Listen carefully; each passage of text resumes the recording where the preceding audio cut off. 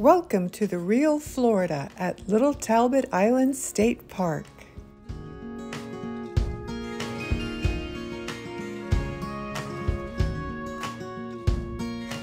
I'll be camping here and exploring this undeveloped barrier island for the next three days.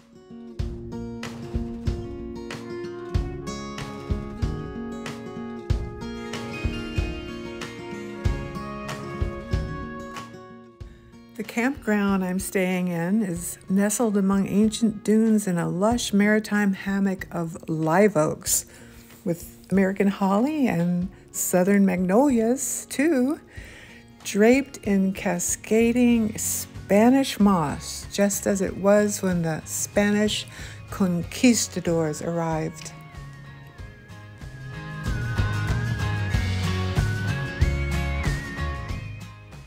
The moisture, the nutrients, and temperature are optimal so that there's plenty of fungus among us in the maritime forest.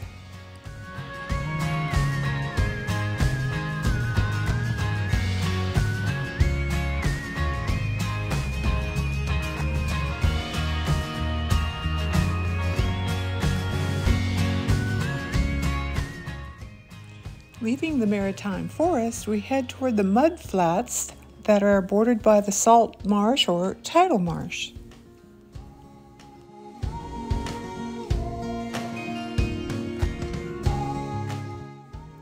The salt marsh or tidal marsh is a nursery for all kinds of marine organisms.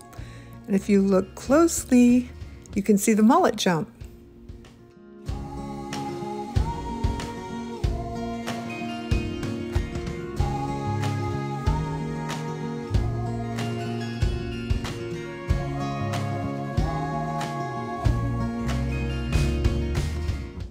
It's also a wonderful habitat for wading birds like this great white egret. And here come the mudflat fiddler crabs, detritivores eating delicious dead stuff out of the mud. So you can see it, it's happening.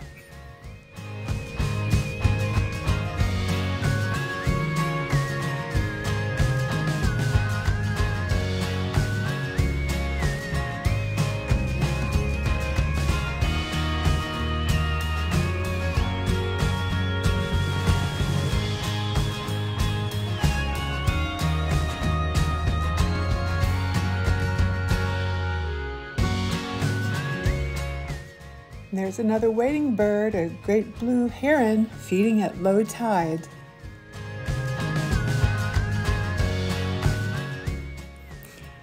From the salt marshes on the west and hardwood forests in between, we will head east now towards the coastal upland. Wow, and here we spot a gopher tortoise. This tortoise is protected by the state of Florida.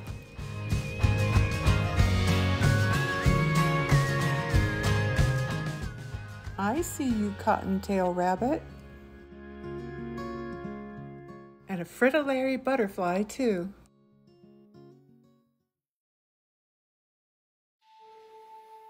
Now, via the boardwalk, we cross over the dunes to experience the five miles of pristine beach on Little Talbot Island. White sand, rolling surf that's typical of the high energy Atlantic coast.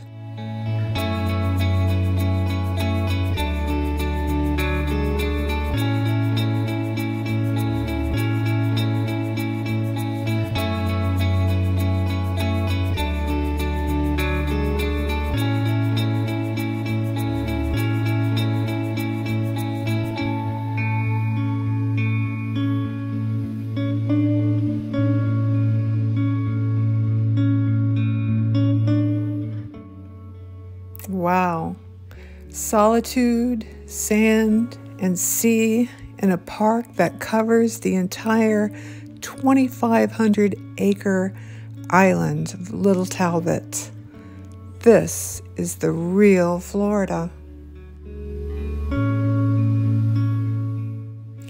And I'm experiencing a lot of live sand dollars purple, sometimes red or brown, all over the place.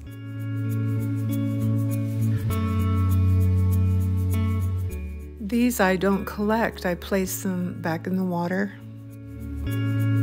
But I do collect the skeletons that are incredibly amazing in design.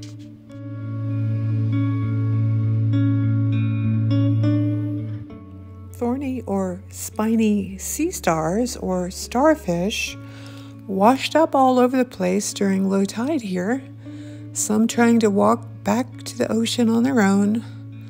I'm going to give them a little help.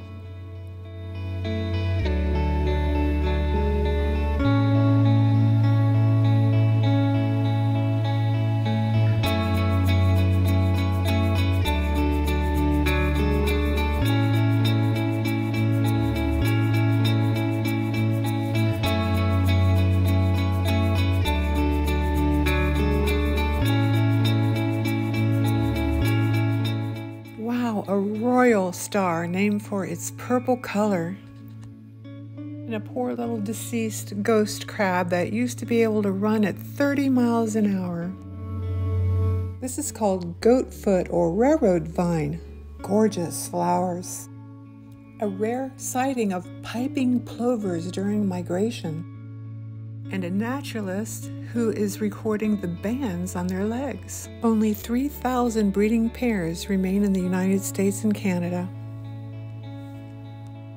The wild landscape of Little Talbot Island provides a refuge from disturbance and development for many sensitive shorebirds.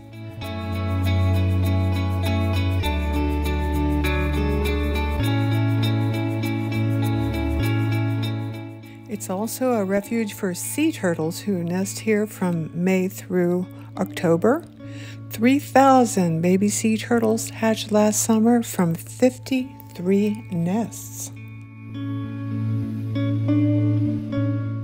Five miles of pristine beach equals 10 miles out and back.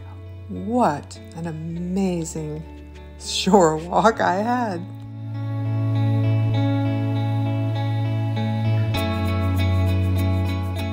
but more excitement was to come.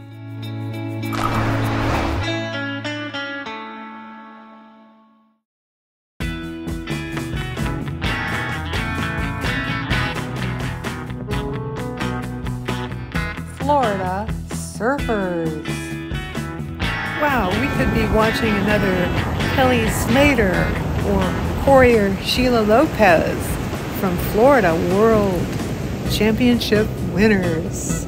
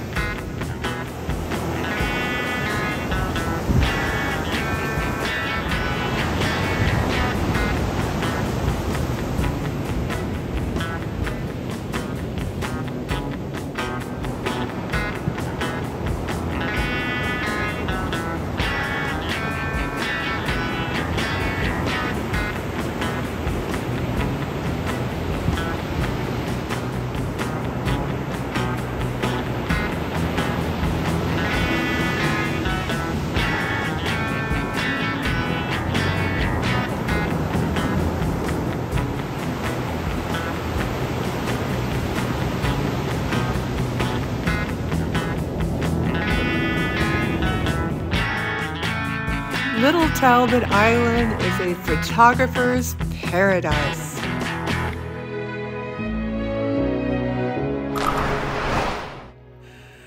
I'm choking up even now because this was one of the most incredible sunsets I've ever witnessed on Little Talbot Island. This just keeps getting more incredible.